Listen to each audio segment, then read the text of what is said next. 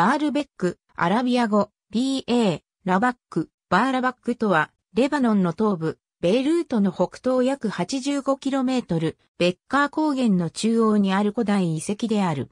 ユネスコの世界遺産に登録されている。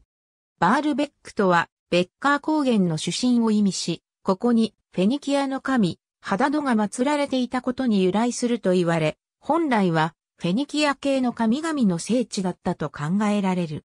しかし後にキリシアローマ系の神々と集合し、祭神はジュピター・ビーナス・バッカスと呼ばれるようになった。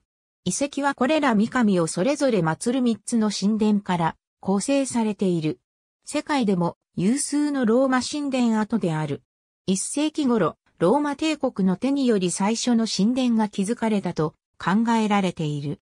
2世紀から3世紀に入り、ジュピター神殿、バッカス神殿が建てられる。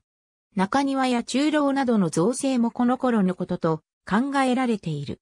コンスタンティヌス帝がキリスト教を国教と定めた後は、神殿の破壊が進んだ。バールベックの神殿もキリスト教の教会へと役割が変わったと考えられている。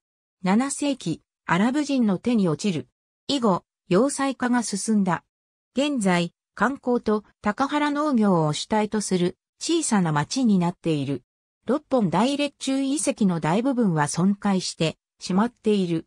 しかし神殿跡に残る六本大列中はバールベック遺跡の象徴となっている。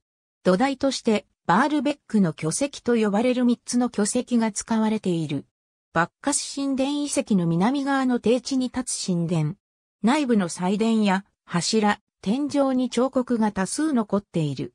この世界遺産は世界遺産登録基準のうち以下の条件を満たし登録された。ありがとうございます。